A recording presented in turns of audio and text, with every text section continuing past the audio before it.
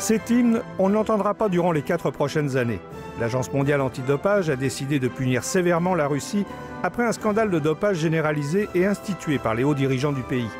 Les athlètes russes seront donc privés de Jeux olympiques et de championnats du monde. De plus, aucune compétition mondiale ne pourra être jouée sur le territoire russe. Et certains athlètes qui pourront prouver hors de tout doute leur probité en matière de dopage pourront participer aux Jeux olympiques et aux compétitions internationales, mais sous bannière neutre et sans hymne national.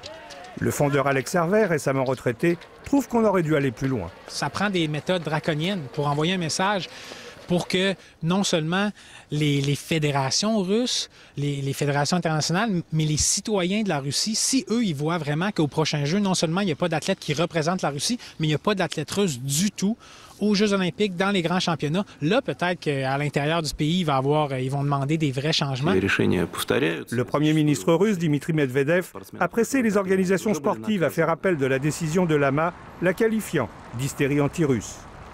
Jointe à Moscou par Radio-Canada, Gana Maximova, l'entraîneur du duo mixte russe en nage synchronisé, était dévastée par la nouvelle. Pour moi, ce n'est pas une demi-mesure, c'est la destruction totale d'espoir national. Et ça, c'est une catastrophe parce que pour moi, c'est une situation complètement politique. Il n'y a aucune éthique dans, dans ce, qui, ce, qui, est arrivé en ce moment. Même si plus long pour regarder les... La directrice du laboratoire de contrôle du dopage à l'INRS, Christiane Ayot, pense que cette décision sera historique et obligera les Russes à revoir de fond en comble leur politique sportive.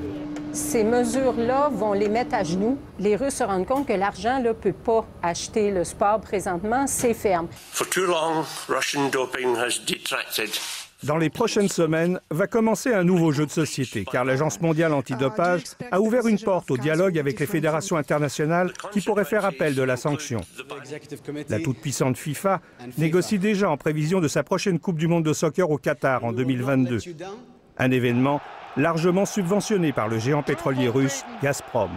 Et on connaît les liens d'amitié entre Thomas Bach, l'ancien escrimeur, et Vladimir Poutine, qui est aussi président honoraire de la Fédération internationale de judo.